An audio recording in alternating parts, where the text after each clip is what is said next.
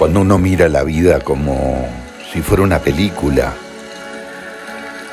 y uno viajara en el túnel del tiempo a repasar historias, encuentro un obstáculo, podría decir el primer problema en la raza humana, y es el tener razón. A lo largo de mi vida, por culpa de tener la razón,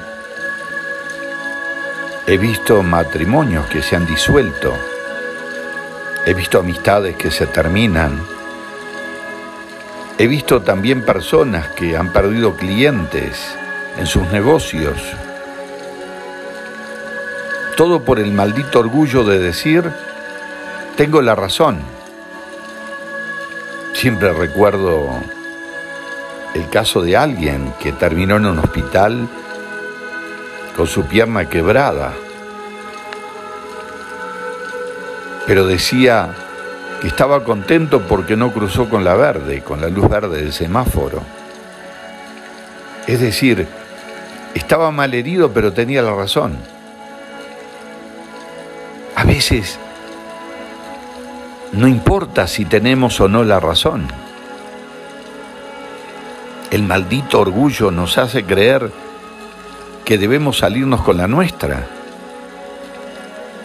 Y a veces hay algo que tienes que aprender a lo largo de la vida que a veces más vale perder para ganar.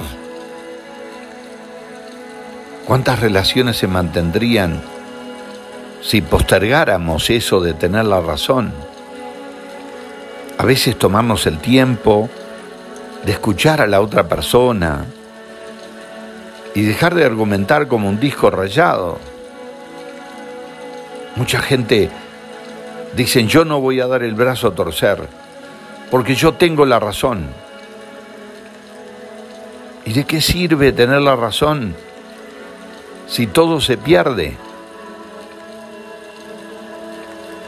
¿Dónde está la sabiduría? ¿Dónde está la inteligencia? ¿Dónde está el poder ver las cosas más lejos de lo que vemos? Yo creo que el tener la razón nos lleva a un estado de torpeza y el maldito orgullo de decir, no voy a ceder, todo se hará como yo digo.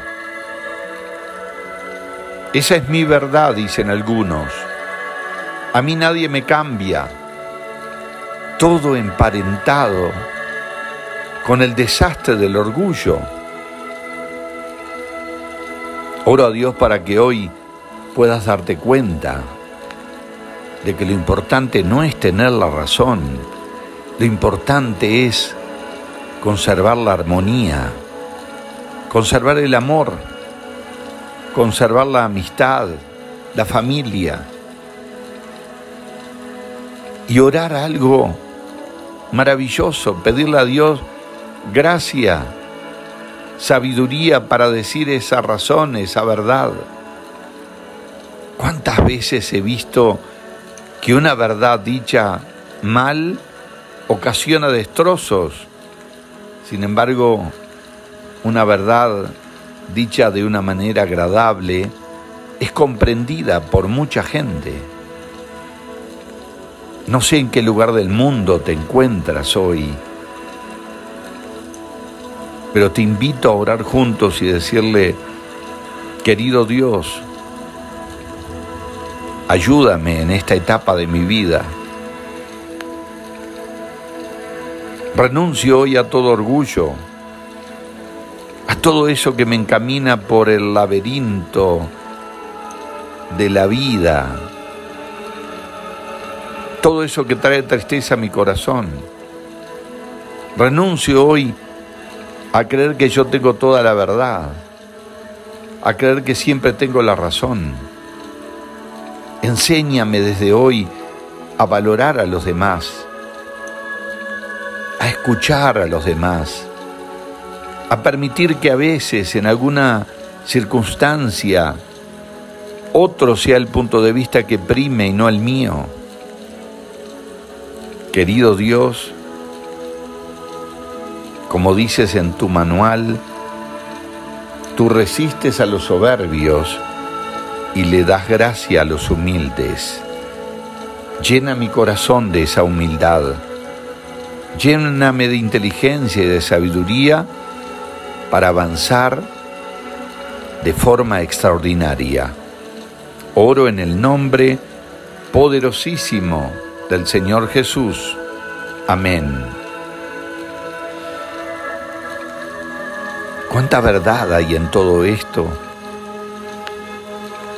Pero es tan sencillo de entenderlo que nos cuesta. A veces somos expertos en complicar lo sencillo. Quiera Dios que hoy puedas comprenderlo. Amén. Si te agrada este video, colócale like, suscríbete al canal Amigo de Dios, compárteselo a mucha gente que lo necesita escuchar hoy mismo. Y recuerda cada día, cada día que pasa, seremos más. Amén.